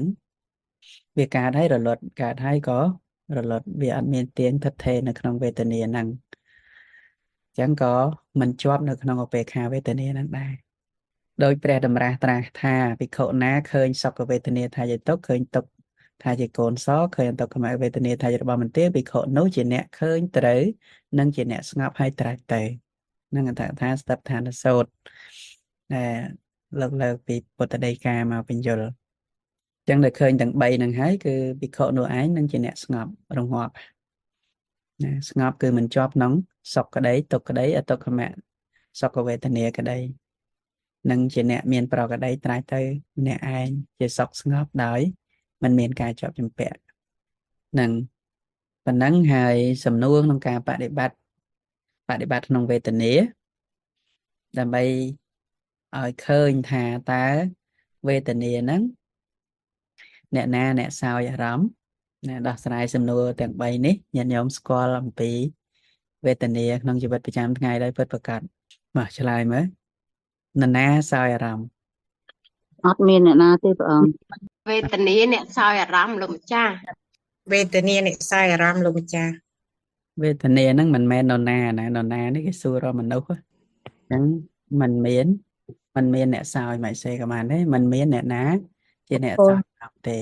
អត់មានគ្មានអ្នកសោយអារម្មណ៍ការសោយហ្នឹងជាការសោយអារម្មណ៍ហ្នឹងជាការសោយរបស់អ្នកណាជាការសោយរបស់វេទនាអញ្ចឹងការសោយរបស់អ្នកណាក៏អត់មានអ្នកណាអត់មានអ្នកណាអ្នកសោយទេ របស់អ្នកណាក៏គ្មានណាហើយសំណួរមួយទៀតសោយបានព្រោះអ្វី វេទនាសោយបានព្រោះមានអារម្មណ៍លោកចាស់ណាថាសោយបានព្រោះអារម្មណ៍អារម្មណ៍តើវេទនាបានព្រោះមានអារម្មណ៍ចាស់ជ្រុំហ្នឹងហើយត្រូវបើអត់មានអារម្មណ៍ក៏អត់មានវេទនាដែរញោមបកែបកែណាឆ្លើយត្រូវទាំងអស់សោយបានព្រោះអ្វីព្រោះមានអារម្មណ៍អត់អារម្មណ៍វេទនាអត់អីសោយបងតោះអញ្ចឹងយើងយល់បានណាអញ្ចឹងការប្រព្រឹត្តទៅរបស់វេទនាផងឯង ហ្នឹងហើយដូច្នេះយើងសិក្សាអំពីសំណួរមិញហ្នឹងយើងយល់បានសរុបមកអំពីហេតុដែលឲ្យកើតវេទនាមាន5គឺមានអវិជ្ជាវេទនាដែលហេតុហេតុ5នេះគឺសំដៅយកវេទនាខណ្ឌណាញាតិញោមជំនាញគឺវេទនាខណ្ឌនឹងឯងទី1គឺអវិជ្ជាមិនដឹងសភាវៈធម៌តាមសេចក្តីពិត ហ្នឹងហើយព្រោះតែមានអវិជ្ជានឹងឯងទៅវេទនាខណ្ឌហ្នឹងប្រព្រឹត្តទៅកើតឡើងបន្តទៅទៀតហ្នឹងហើយអញ្ចឹងវេទនាខណ្ឌតកតងនឹងការសោយអារម្មណ៍ជាប្រកដីរបស់យើងទាំងអស់ហ្នឹងបើសិនជាអស់មោហៈអស់អវិជ្ជាក្នុងពេលណាហើយវេទនាខណ្ឌហ្នឹងក៏ឡើងកើតបន្តទៅទៀតដែរអវិជ្ជាហ្នឹងសំដៅយកអវិជ្ជាពីអតីតណា យើងកំថាចុះព្រះរហន្តលោកអស់អវិជ្ជាដែរប៉ុន្តែលោកនៅតែសោយអារម្មណ៍ជួបទុកជួបអីអាហ្នឹងមិនទៅនេះលោកនិយាយពីបច្ច័យអំពីអតីតដែលយើងនាំឲ្យមានវេទនារាល់ថ្ងៃជួបរាល់ថ្ងៃដោយសារមានអវិជ្ជាពីមុនមកមិនដឹងតាមសេចក្តីពិតហ្នឹងអញ្ចឹងក៏នាំឲ្យវត្តដាក់ប្រព្រឹត្តទៅ ដែលជួបទុករាល់ថ្ងៃហ្នឹងដោយសារមានអវិជ្ជាដែលសាងមកហ្នឹងហើយសាងហ្នឹងវាមិនមែនដែលសាង រឿងល្អឯណាព្រោះអវិជ្ជាហ្នឹងតែអវិជ្ជាហើយដោយច្រើនវាសាងអំពើអាក្រក់នឹងឯងទី2គឺតណ្ហាដោយសារការជាប់ជំពាក់ដោយសារការប្រាថ្នាណាការប្រាថ្នាធ្វើបន់នេះហ្នឹងតែប្រាថ្នាសូមឲ្យជាតិណាណាឲ្យខ្ញុំបានសុខជួបតែមនុស្សល្អហ្នឹងហើយជួបតែរឿងល្អប្រាថ្នាដែលជួបមនុស្សល្អជួបរឿងល្អហ្នឹងគឺប្រាថ្នាវេទនាហ្នឹងឯង តាមពិតទៅប្រាថ្នាជួបសុខហ្នឹងគឺប្រាថ្នាឲ្យវេទនាកើតឡើងទៀតហ្នឹងឯងសុខហ្នឹងបើអត់មានវេទនាទេបានអីសុខទេវតាក៏ដោយព្រំក៏ដោយយើងមើលតែអសញ្ញ័យណាដកទៅវេទនាមានសុខអីអត់ដឹងខ្យល់អីប៉ុណ្ណឹងនៅ500កម្មហ្នឹងមានដឹងសុខមានដឹងទុក្ខអីយើងថាសុខក៏លោកអត់ដឹងសុខ តែជួបទុក្ខក៏មិនមិនមិនដឹងថាទុក្ខឯណាព្រោះទុក្ខវេទនាក៏មិនកើតសុខវេទនាក៏មិនកើតឃើញទេអញ្ចឹងអ្វីដែលយើងប្រាថ្នាដោយការជាប់ជំពាក់ថាចង់ឲ្យសុខបែបនេះបែបនោះហ្នឹងគឺប្រាថ្នាឲ្យកើតវេទនាទៀតនោះឯងហើយឧបាទានគឺសក្តីប្រកាន់មមអញ្ចឹងបើសិនជាមានឧបាទាន មានសក្តីប្រកាន់មមហើយហ្នឹងហើយវេទនា រមែងកើតឡើងជាប់ចម្ពាក់ហ្នឹងហើយជាប់ចម្ពាក់នៅក្នុងវេទនាហ្នឹងក៏ប្រកាន់មមអញអ្នកសុខអីចឹងទៅអញអ្នកកើតទុកទៅហ្នឹងហើយតែអញ្ចឹងក៏សក្តីត្រូវការប្រកាន់ហួងហែងពីមុនមកក៏ជាបច្ច័យនាំឲ្យវេទនាកើតឡើងកម្មគឺអំពើដែលបានធ្វើជាកុសលក្តីអកុសលក្តីយើងអាចកំណត់បានហើយថា វេទនាដែលយើងកំពុងជួបរាល់ថ្ងៃសុខច្រើនឬក៏ទុក្ខច្រើនបើសុខច្រើន មានន័យថាកម្មដែលយើងសាងហ្នឹងសាងល្អច្រើនជួបតែរឿងល្អជួបតែមនុស្សល្អជួបគ្រួសារល្អភរិយាស្វាមីល្អកូនល្អអីចឹងទៅ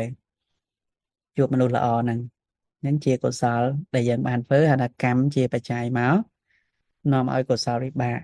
បស់យើងហ្នឹងល្អល្អច្រើនបើកម្មហ្នឹងយើងសំរឿងអកុសលកម្មមិនល្អ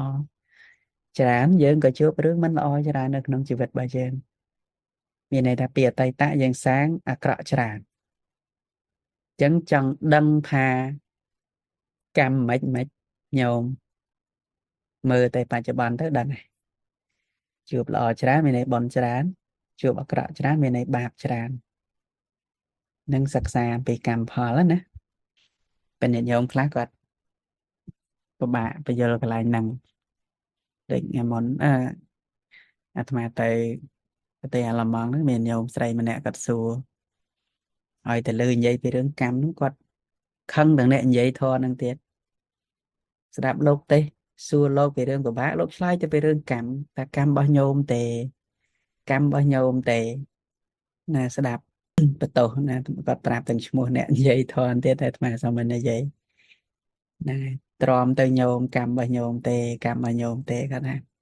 ទេអត់មានអីនិយាយមានតែប៉ុណ្ណឹងឲ្យតែវាជឿពីកម្មហ្មងព្រោះពេលខ្លះយើងខំធ្វើល្អក្នុងបច្ចុប្បន្នដែរហើយជួបតែរឿងអាក្រក់ហើយដែលអត់មានអីនិយាយរឿងតកម្មតែប៉ុណ្ណឹងមានវិធីអីផ្សេងជំនួសអាពាក្យថាកម្មនឹងបានទេលោកម្ចាស់ហ្នឹងហ្នឹងហើយអាត្មាក៏បញ្យល់ចឹងទៅតាមពិតគាត់ ដល់គាត់ជួបបញ្ហាច្រើនមែនតើទៅគាត់ហើយម្យ៉ាងទៀតគឺ ការជឿលើកម្មផលរបស់គាត់ហ្នឹងនៅមានកម្រិតតែអញ្ចឹងតាមពិតពាក្យលោកនិយាយមិនខុសទេល្អប៉ុន្តែពាក្យកម្មហ្នឹងយកមកពិចារណាឲ្យដោះស្រាយនឹងបញ្ហាជីវិតវាអត់បានហើយវាអត់ព្រមទទួលដែលអញ្ចឹងក៏ត្រូវរកឧបាយផ្សេងផ្សេងក្នុងការបញ្យល់អញ្ចឹងទៅណាមិនពុវិធីរបស់ព្រះសម្មាសម្ពុទ្ធមិនអី ជឿតែពីកម្មអតីតអីណា នៅក្នុងផតេរតសោតហ្នឹងព្រះអង្គអត់ឲ្យគិតផងណាអតីតហ្នឹងហើយអតីតមិនមិនមិនមិនព្រះអង្គឲ្យគិតផងហ្នឹងហើយពួកកម្មហ្នឹងយើងដឹងហើយថាបើសិនជាកម្មមានហើយហើយយើងធ្វើម៉េចដើម្បីបជាកម្មហ្នឹងបជាមិនបានអញ្ចឹងពុទ្ធឲ្យរៀនទទួលតាជឿថាកម្មមានក៏ប៉ុន្តែមិនមែនពឹងផ្អែកលើកម្មព្រះអង្គឲ្យទទួលពាក្យថាកម្មហ្នឹងគឺត្រូវទទួលយក ថាសត្វលោកមានកម្មជារបស់ខ្លួនប៉ុន្តែមិនមែនឲ្យបដិបដូររឿងកម្មទេ គឺត្រូវដោះស្រាយក្នុងបច្ចុប្បន្នហ្នឹងរៀនដោះស្រាយក្នុងបច្ចុប្បន្នហ្នឹងជួបរឿងអីដោះស្រាយរឿងហ្នឹងតែជួបអកុសលវិបាកក៏ដោយជួបកុសលវិបាកក៏ដោយឈឺព្យាបាលទៅរកពេទ្យទៅកាត់ទុកផ្លូវចិត្តដោះស្រាយផ្លូវធម៌ទៅត្រូវអប់រំចិត្តមិនត្រូវដោះស្រាយផ្លូវចិត្តមិននឹងបច្ចុប្បន្នហ្នឹងអញ្ចឹងពុទ្ធ សំបីកម្មហ្នឹងក៏ព្រះអង្គផលរបស់កម្មហ្នឹងកម្មនិងផលរបស់កម្មហ្នឹងព្រះអង្គសម្ដែងថាជាអចិន្ត្រយៈទៀតណាព្រះអង្គឲ្យគិតផងវាមិនមែនជាវិស័យរបស់យើងគាត់តែឲ្យព្រះអង្គទ្រង់ត្រាស់សម្ដែងថាកម្មសទ្ធាវិបាកសទ្ធាព្រះអង្គឲ្យជឿថាអញ្ចឹងវាមានពិតមែនប៉ុន្តែมันគូគិតច្រើនវាជាអចិន្ត្រយៈរឿងហ្នឹងមានតែព្រះសម្មាសម្ពុទ្ធទេដែលអាចដឹងដែលអាចជ្រាបសម្ដែងយ៉ាងវិចិត្រតែមិនមែនជាវិស័យរបស់យើងទេប៉ុន្តែគ្រាន់ជឿថា មានហេតុនិងផលប៉ុណ្ណឹងហ្នឹងហើយហ្នឹងគឺសម្រាប់អ្នកដែលជួបរឿងច្រើនក្នុងជីវិតហ្នឹងនិយាយពីកម្មហ្នឹងពេលខ្លះគាត់ពិបាកទទួលយកពីព្រោះពេលខ្លះខំធ្វើល្អបច្ចុប្បន្នតែជួបតែរឿងពិបាកអញ្ចឹងត្រូវកំណត់រឿងដែលក្នុងបច្ចុប្បន្នដែលជួបຕົកជួបអីហ្នឹងនិយាយមកពីយើងសាងក្នុងបច្ចុប្បន្នដែរមិនមែនតែរឿងអតីតណាមក យើងអត់ប្រយ័ត្នយើងអត់ការពារព្រះអង្គក៏សម្ដែងបច្ចុប្បន្ននិងអតីតត្រូវត្រូវគិតទាំងពីរមានជាមួយគ្នាពេលខ្លះព្រះអង្គអត់ទាំងឲ្យគិតអតីតផងពួកគិតហើយក៏អត់ដឹងកែប្រែអីបានដែរអតីតកន្លងទៅហើយតែអ្វីដែលត្រូវគិតក្នុងបច្ចុប្បន្នត្រូវដោះស្រាយមិនអញ្ចឹងដល់យើងមើលរឿងកម្មហ្នឹងវាមានអតីតជារឿងអតីតតែរឿងដែលយើងត្រូវគិតបច្ចុប្បន្នដែលយើងកើតទុកមកពីអីមកពីតណ្ហាមកពីឧបាទាននឹងរបស់យើងក្នុងបច្ចុប្បន្ននេះ បើយើងកុំជាប់ពេកបើយើងកុំប្រកាន់មមពេកក្នុងបច្ចុប្បន្នទៅមានស្អីទៅកើតទុកកម្មតីតឲ្យផលមិនក៏ឲ្យទៅស្រេចទៅវាទៅស្រេចតែកម្មនឹងអ្នកចាត់ចែងទៅអស់សក្តីប្រកាន់នឹងបច្ចុប្បន្នដូចព្រះរហន្តទាំងឡាយលោកអស់អវិជ្ជាអស់តណ្ហាអស់បាទានអញ្ចឹងកម្មតីតនៅតែឲ្យផលតែលោកមានដែលទៅកើតទុកអញឈឺណាស់អញជួបទុកណាស់អញគេជេរអញគេជេរខ្ញុំខ្ញុំកើតទុកចេះមាននឹងព្រះរហន្តណាទៀតអត់មាន កម្មតីតនៅតែឲ្យផលតែទុកផ្លូវចិត្តអត់មានវេទនានៅតែកើតអញ្ចឹងសុខវេទនាក៏មានទៅទុក្ខវេទនាក៏មានទៅហើយភាសាហានេះគឺបច្ចុប្បន្នហ្នឹងឯងនឹងកុំឲ្យជួបរឿងកុំឲ្យជួបវេទនាបាក់បាក់ពេលខ្លះយើងចេះតែព្យាយាមមើលព្យាយាមចង់ដឹងរឿងកូនឆ្លោះគ្នាហ្នឹងក៏ចង់ដឹងណាគេឆ្លោះគ្នាហ្នឹងក៏ចង់ដឹងហ្នឹងក៏ត្រៃភាសា បើប៉ះផ្ទប់មកយើងមិនមើលយើងមិនចង់ដឹងមិនចង់លើមានភាសាមកប៉ះផ្ទប់តាមភ្នែកតាមតិចតាមច្រមុះបានអីវេទនានឹងវាកើតបើអត់ប៉ះប៉ុណ្ណឹងអូ Facebook ឃើញអីឃើញទៅក៏មើលទៅទៅមើលធัวទៅមានតែកើតភាសាមិនល្អណាតែយើងទៅស្ដាប់ធัวទៅមានអីជួបតែរឿងល្អទៅដាប់ទៅអប់រំចិត្តទៅសុបាយចិត្តជ្រះថ្លាបើយើងអង្គុយតែមើលរឿងមិនល្អកើតលោភៈខ្លះទៅកើតទោសៈខ្លះទៅ ណាអាហ្នឹងភាសានឹងបច្ចុប្បន្នហ្នឹងឯងដែលនាំឲ្យកើតវេទនាដែលកំពុងប្រកាសហ្នឹងហើយហ្នឹងគឺបច្ច័យ5នាំឲ្យកើតវេទនាហើយបច្ច័យ5នេះបើរលត់បច្ច័យទាំង5រលត់អវិជ្ជាតណ្ហាឧបាទាននិងកម្មហាក៏រលត់វេទនាដែរចាំគុណចាស់កណាឆ្នាំទី5អាហារៈហ្នឹងភាសៈនិងការប៉ះទុកកណាដោយអត់យល់គុណចាស់ អាហារក្នុងទីហ្នឹងគឺអាហារទាំងអស់មាន4ណាមានកបលង្ការាហារមានភាសាហាមានមโนសញ្ចេតនាហានិងវិញ្ញាណហាហើយដែលអញ្ចឹងលោកដាក់នៅក្នុងហ្នឹងថាភាសាការប៉ះផ្ទប់ហ្នឹងឯងពាក្យហ្នឹងធ្វើឲ្យញោមអត់យល់អញ្ចឹងមែននិយាយពីហាមិនទៅដាក់ភាសាឯណាឯណោះពាក្យថាភាសាហ្នឹងគឺសំដៅយកភាសាហា គឺការប៉ះផ្ទប់ហ្នឹងឯង ការប៉ះផ្ទប់ហ្នឹងជាអាហារហេតុអីបានថាជាអាហារពីព្រោះពាក្យថាអាហារប្រែថានាំមកអញ្ចឹងភាសានាំមកនៅអីនាំមកនៅវេទនាតែព្រះអង្គសម្ដែងថាភាសាបច្ចយាវេទនានោះបើអត់មានភាសាអត់វេទនាតើតែមានការប៉ះផ្ទប់ទៅវេទនាកើតឡើងឧទាហរណ៍ញោមកំពុងស្ដាប់ធម៌ តិចបើញោមកំពុងតែប៉ះផ្ទប់ជាមួយនឹងសម្លេងអាត្មាកន្លែងហ្នឹងឯងជាភាសាហាណា